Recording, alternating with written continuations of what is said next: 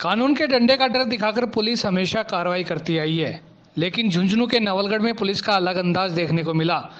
CI Mahavir Singh Rathore की पहल पर अतिक्रमण करने वाले दुकानदारों को जागरूक करने के लिए एक अनूठा अभियान शुरू किया गया। इस अभियान के तहत स्कूली बच्चों से अतिक्रमण करने वाले दुकानदारों को प्रमाण पत्र देकर सम्मानित किया गया। इस प्रमाण पत्र पर लिखा गया है कि श्रीमान, आप द्वारा शहर की यातायात व्यवस्था को बिगाड़ने में तथा आम रास्तों पर आवागमन अवरुद्ध करने में विशेष योगदान दिया जा रहा है। इसलिए आपको धन्यवाद दिया जाता है। पुलिस थाने के यह अनूठे अभियान शुरू किया, जो मुख्य बाज़ार होते हुए पोदार गेट तक चला। सीआई महावीर सिंह राठौड़ ने कहा कि पुलिस व ट्रैफ़िक पुलिस ने सड़क सुरक्षा सप्ताह के तहत अतिक्रमण हटाने का अभियान शुरू किया। चार रोज से पुलिस दुकानदारों को समझाने में लगी हुई है। आज स्कूली छात्राओं व स्काउट गाइड के साथ लेकर यह अभियान शुरू किया गया। बच्चों से अतिक्रमण करवाने वाले दुकानदारों को सम्मानित करवाया गया। व इस पोस्टर को दुकानों पर चिपकाया गया। कुछ दुकानदार शर्मिंदा भी हुए। आने वाले दिनों में इस अभियान का असर बाज़ार में देखने को मिलेगा। करने में विशेष योगदान दिया जा रहा है इसलिए आपको धन्यवाद दिया जाता है। छोटे छोटे बच्चे धन्यवाद देते हैं वो चिपका है कितने चिपका हो इनके प्रकाश आने जाने वालों को सुविधाएँ उपलब्ध करवा रहे हो। रास्ता काम करके और ट्रैफ़िक व्यवस्था बिगाड़ करके और देश का भला कर रहे हो। इसलिए बच्चे आपको पुरस्कार देने आए हैं प्रमाण पत्र लो।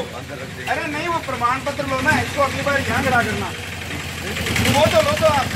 अरे आप अपने बच्चों को भी देना कि पापा कितने अच्छे हैं। लो आप। ओ ऑस्कर अवार्ड कम नहीं है। तीसवां सड़क सुरक्षा सप्ताह चल रहा है।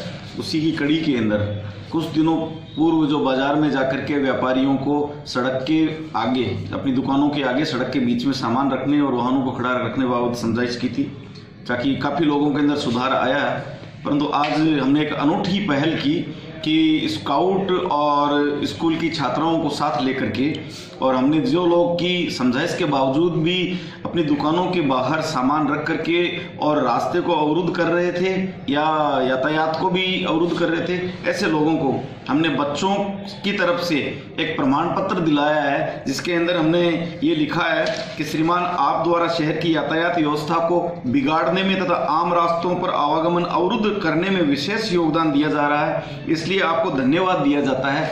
इस तरह का हमने उन लोगों को बच्चों की तरफ़ से एक प्रमाण पत्र दिलवाया, साथ ही उनकी दुकान के बाहर इसको चस्पा भी किया है। ये एक तरीके से उनकी गलती को रियलाइज़ कराने का हमने एक अनूठी पहल की है, जिसका बहुत ही अच्छा रेस्पॉन्स भी मिला है और लोगों ने अपना सामान स्वतः अंदर रखा भी है। बहुत से लोग ऐसे भी है जिन्होंने इस प्रमाण पत्र को लेने में आनाकानी की, शर्मिंदगी महसूस की और उन्होंने आगे से सामान बाहर नहीं रखने की बात भी कही।